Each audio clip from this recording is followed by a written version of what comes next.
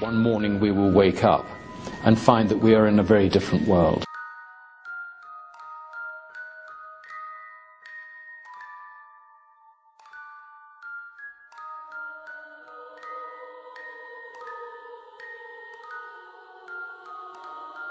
Last year, the bank was worth $41 billion, but in 12 months, its share price has plunged by 93%. UK bank Barclays planned to buy part of the company, but it thought twice. Challenge now to allow it to die gently. An orderly liquidation is in the interests of every other bank. This isn't just Wall Street's problem. To dump all Lehman's assets at once would depress the market worldwide. Politicians talk about paying down the debt. You can't do that without collapsing the entire economy. All the politicians are in a situation where if they don't come to the rescue, we could just have an overnight shutdown. So there's always this wish to kick the can down the road. We're going to be talking about, you know, gold not just going up, you know, to $25 in a day, but $50, $100 in a day, $1,000 you're going to see a very rapid decline in the value of the dollar in a matter of days. There have been dozens and dozens of currency collapses. NASA scientists have discovered an Earth-like planet 600 light years away. It's thought to be about 2.4 times the size of Earth. The so-called Kepler 22b orbits in the habitable zone above a star similar to our Sun. The planet's been named after the Kepler Deep Space Telescope, which spotted it.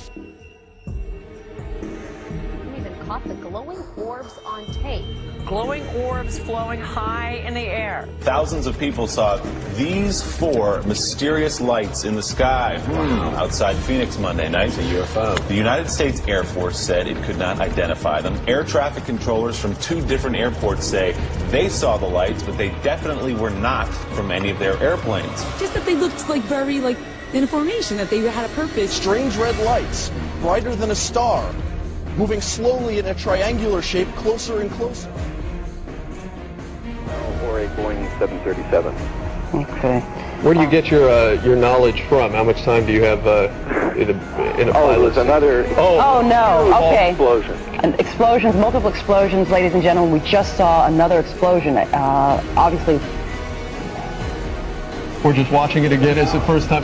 This is now. this is the other tower, ladies and gentlemen. Another explosion at tower number two of the World Trade Center just happened live on our air.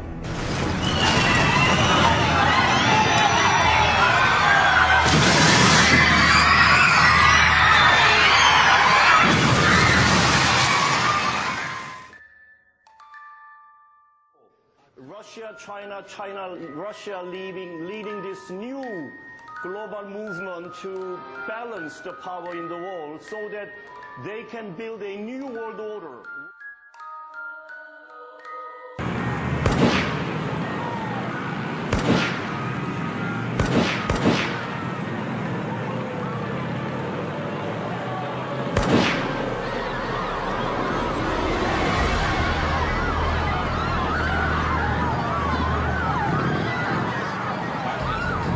Mercedes uh, sedan, and there is the unrecognizable front end after what must have been, what almost uh, to a person, everyone uh, who has come on the air uh, tonight agrees was a, a high-speed collision uh, um, there in Paris tonight. Dodi El Fayed uh, dead, Princess Diana dead at the age of 36. And this was quite simply the biggest, uh, longest lasting earthquake I've ever experienced here. We were completely unprepared for this. It was a beautiful, it was a beautiful spring day. It was sunny outside. I had just come home from a uh, little errand to the grocery store, and all of a sudden, bam! It just hit, and you could tell this was different instantly from other little tremors that we've had before. I mean, it just picked up in intensity. It ramped up.